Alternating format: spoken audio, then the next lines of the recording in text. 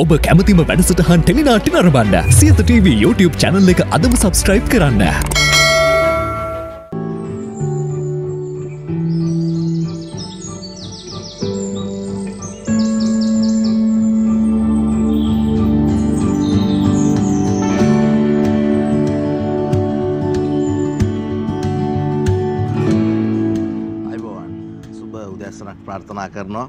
සතියන්තය ඉරිදා දවසේ ඔබේ අපේ මුණගැහීම සුන්දර ඉරිදාව සමගින්. අද දවසේ අපේ වැඩසටහන් පෙළගැස්ම තුළ බොහොම අපූරු රටාවක් තිබෙනවා. ඔබේ ජීවිතයට වැදගත් ඔබට අර්ථයක් ගෙන එන්න පුළුවන් දේවල් ජීවිතය වෙනස් කරන්න පුළුවන් කාරණා බොහොමයකුත් අද දවසේ වැඩසටහන් පෙළගැස්ම තුළ එකතු වෙලා තියෙන නිසා බොහොම ගෞරවයෙන් ආදරයෙන් ආරාධනා කරනවා වැඩසටහන සමගින් දිගින් දිගටම එකතු වෙලා අත්වල් බෙදගෙන රැඳිලා ඉන්න කියන කාරණාව. ඒ අතරතුරේ තව පුංචි අදහසකුත් ඔබට ඉදිරිපත් කළම ගියොත් වටී කියලා මට හිතෙනවා වැඩසටහන පටන් ගන්න වෙලාවේ. අපි දුෂ්කර කාල සීමාවන් වලට මුහුණ දෙනකොට පුළුවන් තරම් ශක්තිමත් වෙනවායි කියන එක තමයි වටිනම කාරණාව බවට පත් වෙන්නේ. අ, සත්ව ඉතිහාසය පිළිබඳව ගත්තත් මානව ඉතිහාසය පිළිබඳව ගත්තත් දුෂ්කර අවස්ථාවලදී ශක්තිමත් වෙලා හිටපු කට්ටිය තමයි අවසානයේ දක්වාම හොඳින් රැඳිලා හිඳලා එහෙම නැත්නම් රැකිලා ඉඳලා තියෙන්නේ. ඒක නිසා කොයි දුෂ්කරතාවයක් ආවත් ඔබ ඒ අවස්ථාවට මුහුණ දෙන්නට ශක්තිමත් වෙන්න කියන කාරණාව මතක් කරමින් අපේ වැඩසටහනට අපි යන්න සූදානම් වෙනවා. අද දවසේත් අපිත් සමග ඉන්නවා ජගත් දේශපාලන විශ්ලේෂක රසික ජයගුඩ මහත්මයා ආයුබෝවන් සුබෝදෑසනක් ආයුබෝවන්. අපි අද දවසේ පොඩ්ඩක් මේ ලෝක බැංකුවේ නව සභාපතිවරයා එහෙම නැත්නම් සභාපතිත්වය වෙනස් වීම කියන කාරණාව පිළිබඳව ටිකක් වැඩිපුර කතා බහ කරන්න තමයි බලාපොරොත්තු වෙලා ඉන්නේ. මේ කාරණාව පිළිබඳව කතා කරනකොට සමස්ත ලෝකයටමත් ලංකාවටත් එහි ලොකු බලපෑමක් තියෙනවා. ඒක නිසා අපි ඒ පැත්ත ගැන ටිකක් කතා කරමු. ඔව් ලෝක බැංකුවේ සභාපතිවරයා වශයෙන් නව සභාපතිවරයා වශයෙන් ඉන්දීය ජාතිකයෝගේ නම ඇමරි- ඇමරිකානු පුරවැසිභාවය සහිත ඉන්දිය ජාතිකයෝගේ නම ඇමරිකානු රජය විසින් නිර්දේශ කරලා නොමිනේට් කරලා ප්‍රසිද්ධියට පත් කළා මේක විශේෂ කාරණයක් විදිහට සැලකෙනවා ඒකට හේතුව තමයි අ, දැන් ඔය ඇමරිකානු රජය ඇයි ලෝක බැංකුවේ සභාපතිවරයා නම් කරන්න කියන ප්‍රශ්නය බොහෝ දෙනෙකුට එයි මේ කහනකොට. සාමාන්‍ය ලෝක බැංකුවේ සභාපතිත්වය හැමදාම තියෙන්නේ ඇමරිකාව අතේ. ඒකට හේතුව තමයි ලෝක බැංකුවෙන් 10%ක් විතර අ, 10%ක් විතර කොටස් තියෙන්නේ ඇමරිකාව සතු ඇමරිකාව තමයි ලෝක බැංකුවේ ප්‍රධානතම පාර්ශවක පාර්ශවකරුවා පංගුකරුවා. ඒක නිසා තමයි ඇමරිකානු ජාතිකයෙකුට ඇමරිකාවට හැමදාම ලැබෙන්නේ ලෝක බැංකුවේ සභාපතිත්වය නම් කරන්න. ඒ වගේ ජාත්‍යන්තර මූල්‍ය අරමුදල ගත්තොත් ජාත්‍යන්තර මූල්‍ය අරමුදලේ සභාපතිවරයා හැමතිස්සෙම යුරෝපා ජාතිකයෙක්. මේ වගේ මේ මේ විදිහට තමයි මේ බල තුලනය සිද්ධ වෙලා තියෙන්නේ. එතකොට ඒ යටතේ තමයි ඇමරිකානු රජය මේ වෙනකොට ඔය අජේ බංගා කියන ඉන්දීය ජාතිකයාගේ නම යෝජනා කරලා තියෙන්නේ. මේ අජේ බංගා කියන්නේ කවුද කියලා මං හිතන්නේ හොයලා බලන එක වටිනවා. අ, ඔහු තමයි අ, ඔහු දීර්ඝ කාලයක් තිස්සේ මාස්ටර් කාඩ් ලංකාවයටත් මාස්ටර් කාඩ් එච්චර අ, අමුතු දෙයක් නෙවෙයි. මාස්ටර් කාඩ් සමාගමේ ප්‍රධාන විදායක නිලධාරිය වශයෙන් ඔහු දීර්ඝ කාලයක් කටයුතු කළා.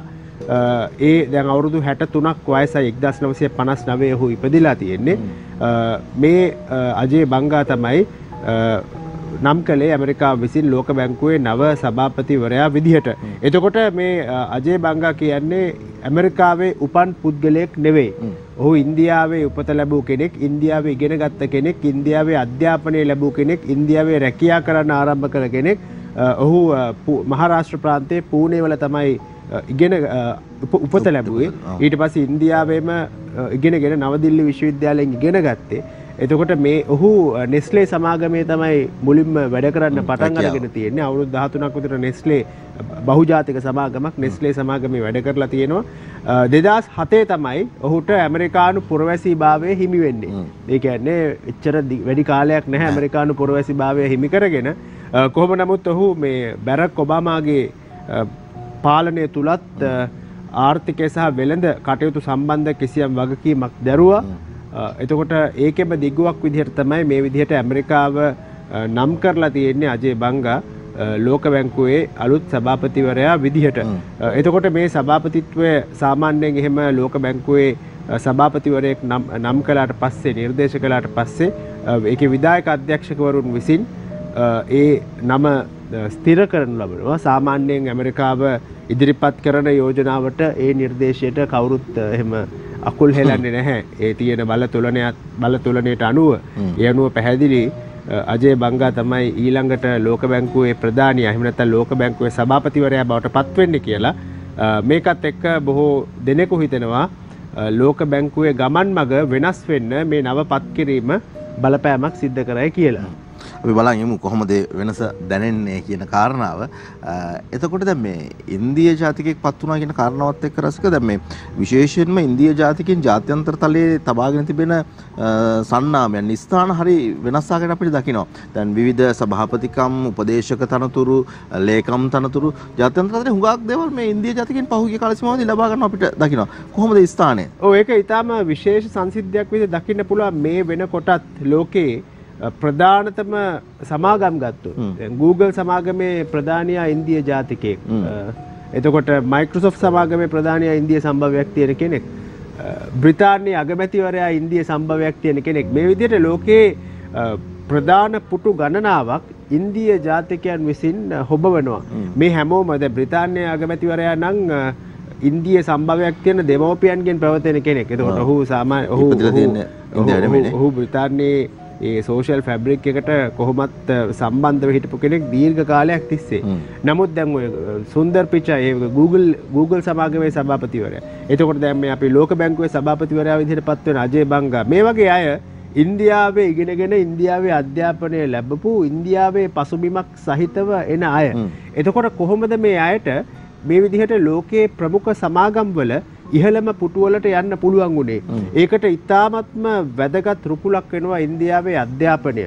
ඒ කියන්නේ ඉන්දියාවේ අධ්‍යාපනය ඔවුන් ඉංග්‍රීසි මාධ්‍ය අධ්‍යාපනය කියන දේ ඉන්දියාවේ ඉතාම ශක්තිමත්ව පවතිනවා.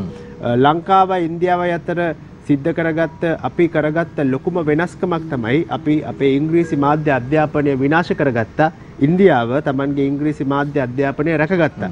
එතකොට ඉන්දියාවට පුළුවන් වෙනවා ඉන්දියාවේ වෘත්ති ඉන්දියාවෙන් එළියට ලබා දෙන්න. එතකොට ඒ වෘතිකයන්ට පුළුවන් වෙනවා ලෝක ඉහළම සමාගම්වල ලෝක අනිත් රටවල් එක තරගකාරී විදිහට කටයුතු කරලා Tamanගේ ඒ ස්ථානය සලකුණු කරන්න.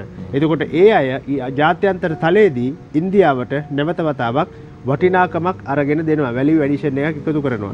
ඕක තමයි Tamanගේ අධ්‍යාපනය අවුල් කර නොගත්ත රටක. විශේෂයෙන්ම මේ ඉංග්‍රීසි අධ්‍යාපනය අවුල් කර නොගත්ත රටක සහ ඉංග්‍රීසි අධ්‍යාපනය අවුල් කරගත්ත රටක් අතර තියෙන වෙනස එතකොට ලංකාව සහ ඉන්දියාව අතර තියෙන වෙනසත් ඔන්න ඕකයි. ඒ වගේම ඉන්දියාව මේ වෙනකොට ලෝකේ ඊටාම සුවිශේෂී තැනකට ගමන් කරමින් තිබෙනවා. ඒකත් වැදගත් කාරණයක්. මේකට මේ වෙනකොට ලෝකයේ බොහෝ රටවල් ආර්ථික වශයෙන් අර්බුදකාරී තැනකට ගමන් කරනකොට ඉන්දියාව තමන්ගේ ආර්ථික ස්ථාවරත්වය රඳවා ගනිමින් සිටිනවා.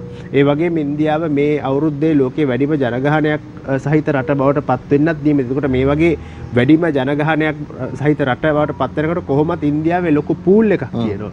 ඒ ලොකු පූල් එක ඒකත් එක හේතුවක් ඉන්දිය ජාතිකයන් මේ විදිහට ලෝකයේ විශේෂ තනතුරු සුවිශේෂී තනතුරු දරන්න. ඉතින් මේක මං හිතන්නේ ඇමරිකාවේ ගත්තොත් මේ අපි දන්න ප්‍රධාන සමාගම් වලට අමතරව ඇමරිකාවේ টොප් එක්සිකියුටිව්ස් එහෙම නැත්නම් විධායක ශ්‍රේණියේ බොහෝ සමාගම් වල සිලිකොන් වැලි එකේ එහෙම නැත්නම් වෝල් ස්ට්‍රීට් එකේ මේ වගේ ප්‍රධාන සමාගම් වල තනතුරු දරන සැලකිය යුතු පිරිසක් ඉන්දිය ජාතිකයන් මං හිතන්නේ මේක ඊටාම සුවිශේෂී තත්වයක් විදිහට දකින්න පුළුවන් එතකොට මේකට එකතු වෙන අලුත්ම එකතු කිරීම තමයි ලෝක බැංකුවේ අලුත් සභාපතිවරයා ඉන්දිය ජාතිකයෙකු විදිහට පත්වීම. දැන් මේ ලෝක බැංකුවේ සභාපතිවරයාගේ හදිසියේ වෙනස් කිරීම. එහෙම නැත්නම් වෙනස් වෙන්න බලපාපු කාරණා මොනවද තියෙනවද? සාමාන්‍ය අවුරුදු 4ක් 5ක් වගේ කාලයක් නේද ගන්න වෙනස් වෙන්න? ලෝක බැංකුවේ සභාපතිවරයා පත් වෙන්නේ අවුරුදු 5ක දුර කාලයකට. ඒ කියන්නේ ඇමරිකානු රජයෙන් මම කලින් වගේ නම් කරන්නේ. ඇමරිකානු රජයෙන් නම් කළේ දැන් මීට කලින් හිටපු සභාපතිවරයාගේ නම ඩේවිඩ් මැල්පාස්. එතකොට ඔහු නම් කළේ ලෝක බැංකුවට ඩොනල් ට්‍රම්ප් ජනාධිපතිවරයාගේ පාලන කාලය තුළ මේ ළඟදී ඔහුට ඒ ලෝක බැංකුවේ සභාපතිවරයාට ගැටලුකාරී තැනක් මතු වුණා. හේතුව තමයි ඔහුගෙන් මේ ආර්ථික සමුළුවකදී ප්‍රශ්නයක් ඇහුවා ලෝක දේශගුණ විපර්යාස ගැන ක්ලයිමට් චේන්ජ් ගැන. එතකොට දැන් මේ ලෝකයේ බොහෝ දුරට මේ අන්ත දක්ෂිණාංශික මතවාදය දරන අය දැන් ඩොනල්ඩ් ට්‍රම්ප් ජනාධිපතිවරයා. ඔහු දක්ෂිණාංශික ජනකාන්තවාදී මතයක් දන්න කෙනෙක්. අන්ත දක්ෂිණාංශික මත ඉදිරිපත් කරන කෙනෙක්. එතකොට බොල්සනාරෝ ගැන අපි කතා කලා බ්‍රසීලේ හිටපු ජනාධිපතිවරයා. එතකොට මේ වගේ අය ඇත්තටම මේ දේශගුණ විපර්යාසයක් විපර්යාස වෙනවයි කියලා පිළිගන්නේ නැහැ. එක ඒගොල්ලො හිතන්නේ මේක බොරුවක් කියලා. මේක මේ පරිසර සංවිධාන එහෙම නැත්තම් මේ විවිධාකාර සංවිධාන විසින් නිර්මාණය කරපු බොරුවක් මේ ලෝක දේශගුණ විපර්යාස කියන මේ බොරුව නිසා තමන්ගේ ආර්ථික වර්ධනය අඩාල වෙනවා කියන තැන තමයි මෙය ඉන්න. ඒ නිසා තමයි ඩොනල් ට්‍රම්ප් එහෙම ඔය පරිසර සම්මුතීන් වලින් ගැලවුණේ. ඉවත් වෙන්න බලපෑවේ. මොකද මේක මේ මූලික වශයෙන් දේශගුණ විපර්යාසය පිළිබඳ ගොඩනගන තර්කය මේගොල්ලෝ පිළිගන්නේ නැති හින්දා. එතකොට මේ ඩොනල්ඩ් ට්‍රම්ප් ජනාධිපතිවරයාගේ පාලන කාලය තුල පත් කරපු මේ ලෝක බැංකුවේ සභාපතිවරයාගෙන් මේ මෑතකදී ආර්ථික සමුළුවකදී ප්‍රශ්නයක් ඇහුවා ලෝක මේ මේ දේශගුණ විපර්යාස ගැන. ඔහු ඒකට දුන්න ඉතාමත්ම දියාරු සහ ඔහු ඒකට දුන්න පිළිතුර බල බරපතල විවේචනයට ලකුණ හොකුව මේ මම විද්‍යාඥයෙක් නෙවෙයි මම ඒක දන්නේ නැහැ කියලා. ඒතකොට ලෝක බැංකුව සභාපතිවරයාට ඒ වගේ උත්තරයක් දෙන්න පුළුවන්ද කියන එක ගැන සමාජයේ ලෝකයේ විශාල කතාබහක් ඇති වෙනවා. මොකද මේ වෙනකොට ලෝකය ඊටාම දැඩි ලෙස මේ පරිසර දේශගුණ විපර්යාස පිළිබඳ කතිකාව ගොඩනැගමින් පවතින වෙලාවක් මේකේ ලෝකේ බොහෝ රටවල් ලෝකේ බොහෝ රටවල් මේ වෙනකොට මේ දේශගුණ විපර්යාසය විපර්යාස නිසා පීඩා විඳිනවා. අපි මේ මීට කලින් සතියක් කතා කළා නවසීලන්තය.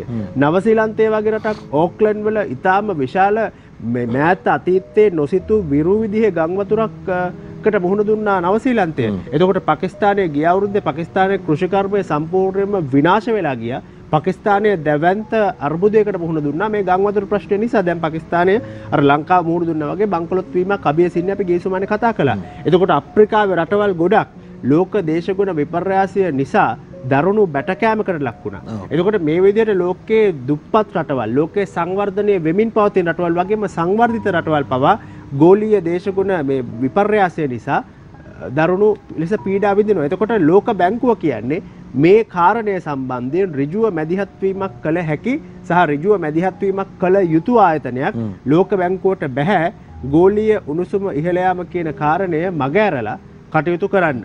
එතකොට ඒ ලෝක බැංකුවේ ඇජෙන්ඩා එකේ එහෙම නැත්නම් ලෝක බැංකුවේ න්‍යාය පත්‍රයේ ඊටාම ඉහළ ප්‍රමුඛත්වයක් ගත යුතු කාරණයක් සම්බන්ධයෙන් මේ වගේ මතභේදකාරී ස්ථාවරයක් දරන පුද්ගලයෙකුට ඒ වගේ මේ මතභේදකාරී ස්ථාවරයක් දරන පුද්ගලයෙකු ලෝක බැංකුවේ සභාපතිවරයා වශයෙන් කටයුතු කිරීම බරපතල ප්‍රශ්නයක් බවට පත් වුණා. ඒ ගැන ජාත්‍යන්තර මාධ්‍ය විවේචනය කළා. ඒ වගේම ජාත්‍යන්තර වශයෙන් මේකට දැඩි ප්‍රශ්න කිරීමක් එල්ල වුණා. ඒකේ ප්‍රතිඵලයක් විදිහට තමයි ලෝක බැංකුවේ දැන් ඉන්න සභාපතිවරයා Tamanගේ ඉල්ලා අස්වීම නිවේදනය කරේ. ඒ කියන්නේ ඔහුට තව අවුරුද්දක කාලයක් මේ තනතුර දරන්න පුළුවන්කම තිබුණා. නමුත් මේ අවුරුද්දක කාලයක් තනතුර දරන්න නියමිතව තියෙද්දි ඔහුට ඉල්ල අස්වෙන සිද්ධ වුණේ මේ ගෝලීය දේශගුණ විපර්යාස සම්බන්ධයෙන් ඔහු දැරූ මතභේදකාරී මේ ප්‍රශ්න මේ ඒ මතවාදය ඒ ස්ථාවරය උඩ.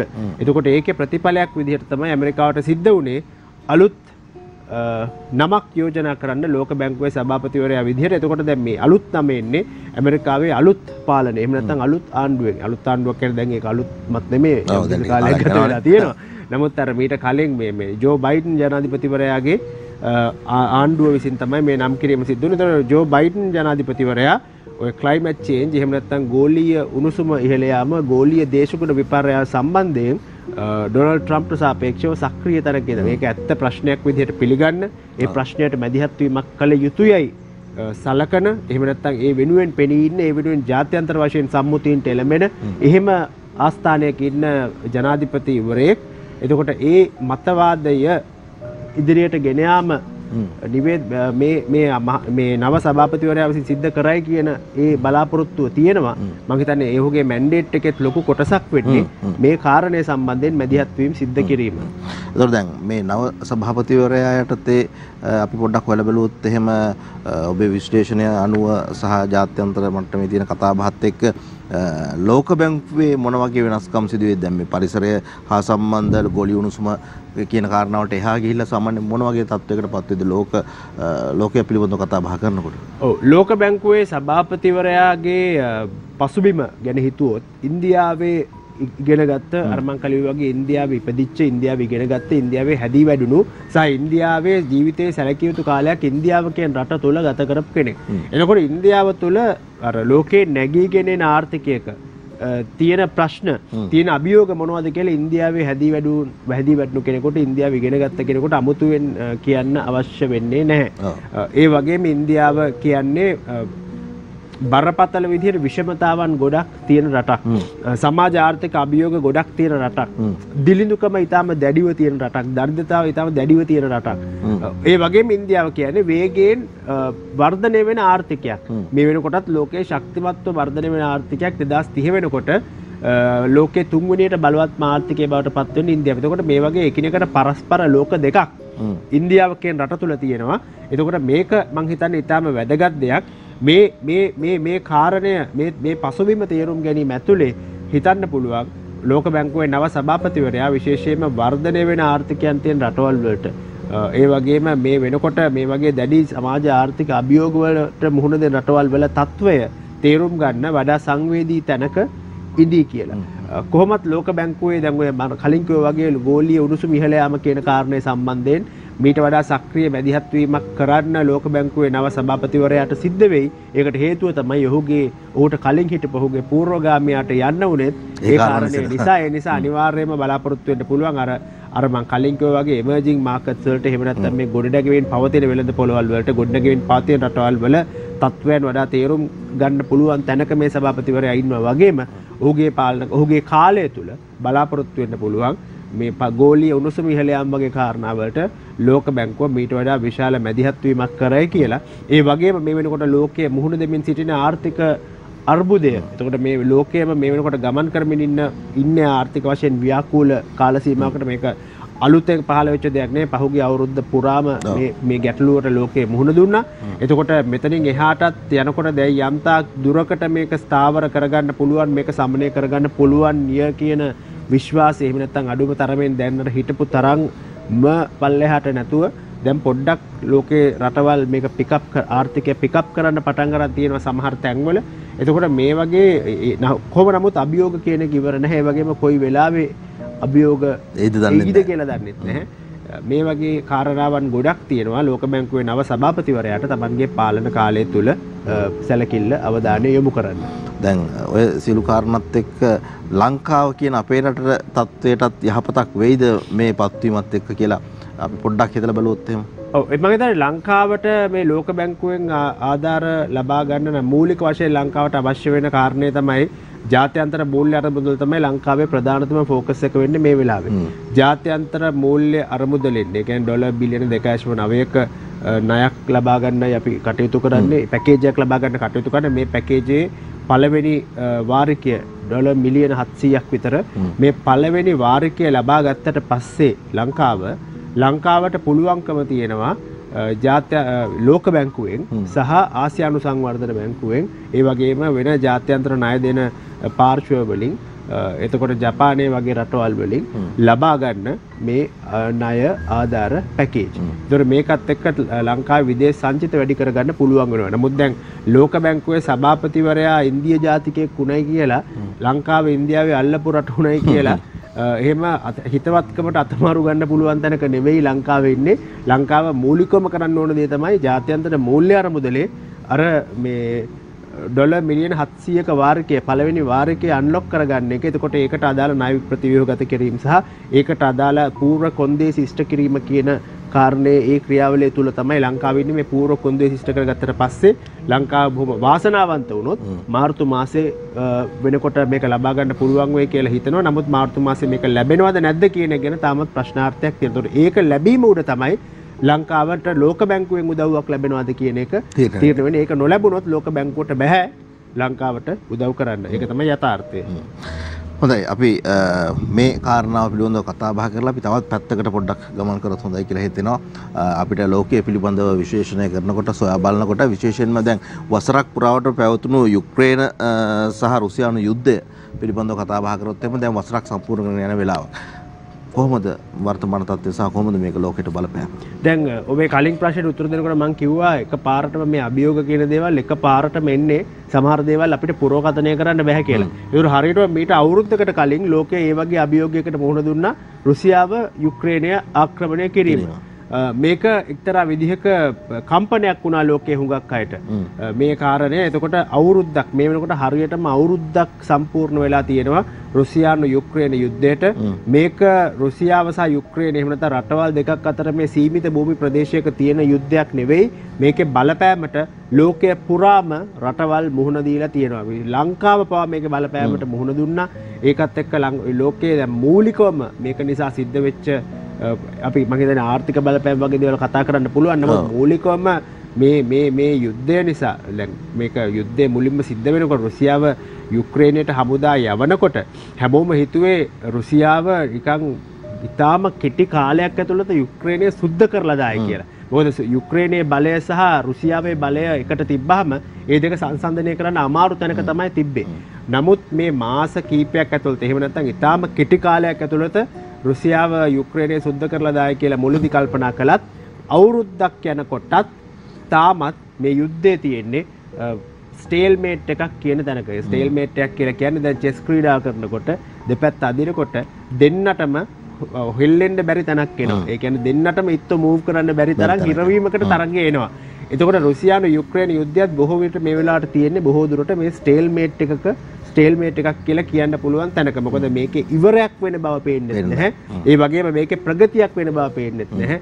පැහැදිලි ජයග්‍රාහකයෙක් පේන්නෙත් නැහැ. පැහැදිලි පරාජිතයෙක් පේන්නෙත් නැහැ. නමුත් දෙපැත්තෙම මිනිස්සු මැරෙනවා. දෙපැත්තෙම ජීවිත හානි වෙනවා. දෙපැත්තෙම දේපොළ හානි වෙනවා.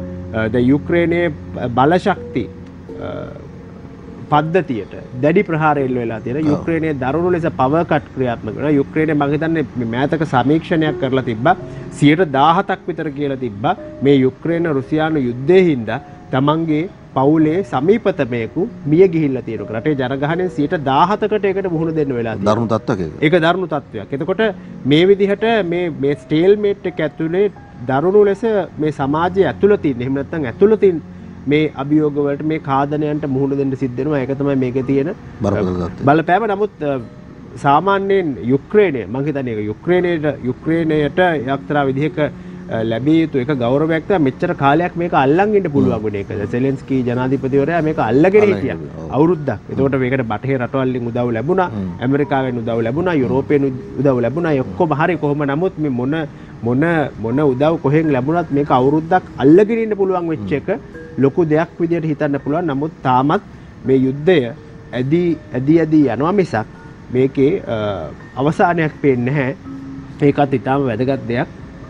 මේ මොහොතේ තියෙන තත්ත්වය විශ්ලේෂණය කරනවා.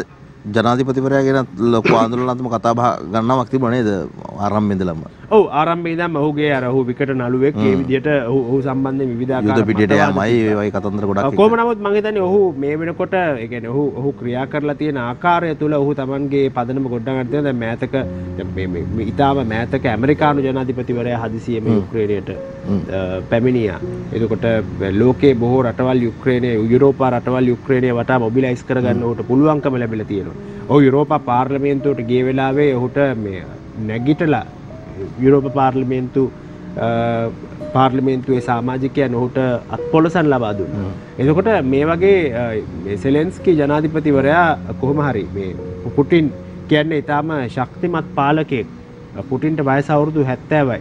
ඉතින් පුටින් පුටින්ට මේ යුක්‍රේනය අත්පත් කරගෙන මං හිතන්නේ පුටින් මේක එක්තරා විදිහක තමන්ගේ මේ ලෙගසි ප්‍රොජෙක්ට් එකක් විදිහට දකින්නවා කියලා හිතන්න පුළුවන්. අතරමැද පොඩි ටිකක් සෙල්ලමක් කියන්නේ මොකද්ද මේ?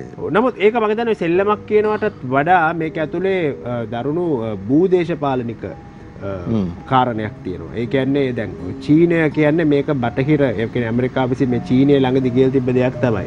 චීනය මේක මේක මේ ඇමරිකාවේ ප්‍රොක්සි වෝ එකක් කියලා. එහෙම නැත්නම් යුක්‍රේනය කියන්නේ මේකේ ප්‍රොක්සි වෝ එකක්. ඇමරිකාවේ ප්‍රොක්සි එකක් කියලා. එතකොට කොහොම නමුත් මේ වගේ යුද්ධයක අපිට අර බොහොම අර ලීනිය විදිහට එහෙම නැත්නම් සරල රේඛීය විදිහට කියව ගන්න බෑ මේ වගේ මේ යුද්ධයක් කියන්නේ මොකක්ද කියලා. මේකේ ස්තර ගණනාවක්, ලේයර්ස් ගණනාවක් තියෙනවා. මේක අර මිලිටරි මෙහෙයුම තියෙනවා භූමිය ක්‍රියාත්මක වන. එතකොට ඒ මිලිටරි මෙහෙයුමට උඩින් තියෙනවා භූදේශපාලනික මෙහෙයුම.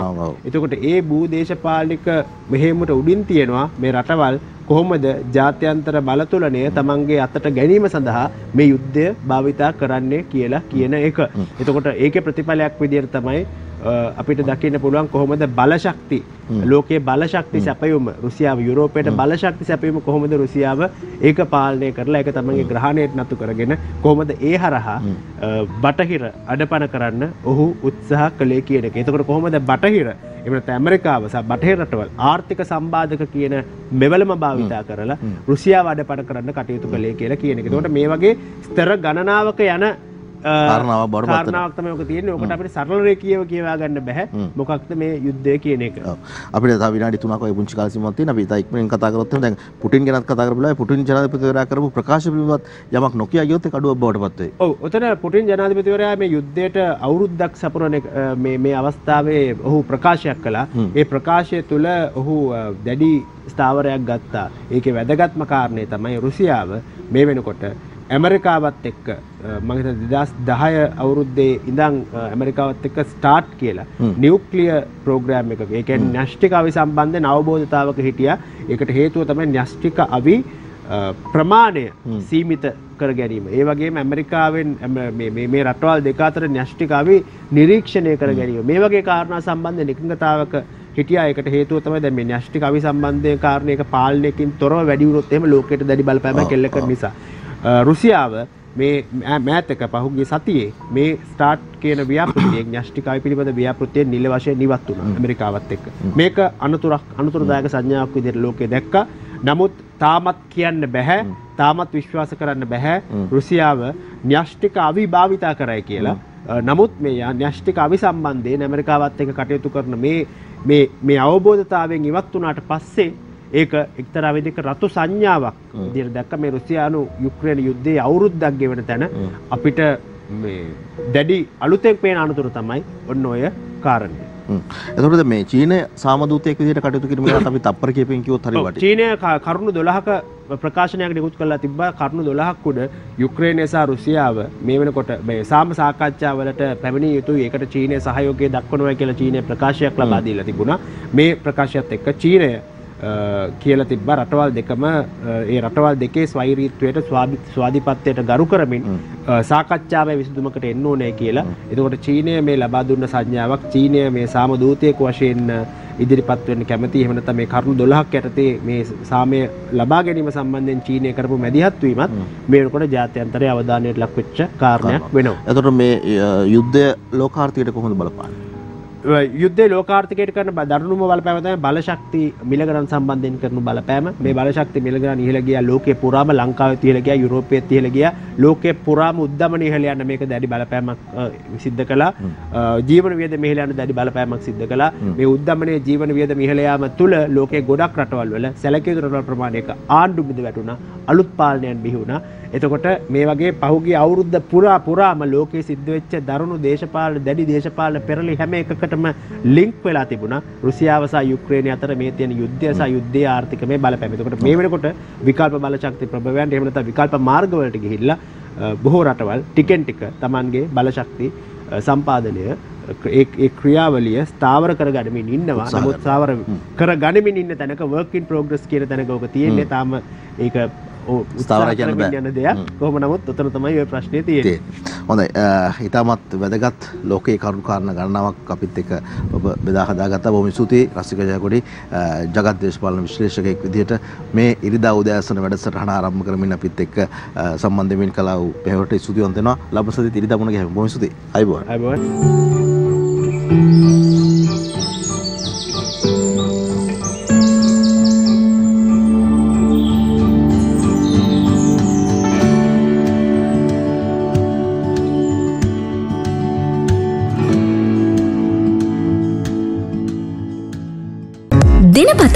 අලුත් වීඩියෝ සහ ප්‍රවෘත්ති නැරඹීමට ඉහත බටන එක කලික් කර සියත TV සබස්ක්‍රයිබ් කරන්න.